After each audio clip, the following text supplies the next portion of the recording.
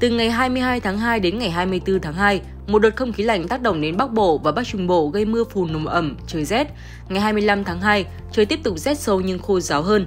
Dự báo chiều tối và đêm 26 tháng 2, một đợt không khí lạnh tăng cường sẽ ảnh hưởng đến khu vực Bắc Bộ. Khu vực Bắc Bộ và Bắc Trung Bộ trời tiếp tục rét kèm mưa, vùng núi cao có nơi rét hại dưới 8 độ C. Theo nhận định từ đại diện cơ quan khí tượng, khả năng đầu tháng 3 sẽ tiếp tục có một đợt không khí lạnh mới. Giờ đến cuối cuối tháng 2 thì vẫn còn những cái đợt sóng lạnh nhỏ. Sau đó đến tháng 3 thì nó vẫn còn duy trì và có khả năng là khoảng đầu tháng 3 thì có thể xuất hiện một cái đợt không lạnh nữa. Thì vẫn có những cái đợt không khí lạnh mà gây ra cái rét đậm rét hại cục bộ trên các tỉnh vùng núi.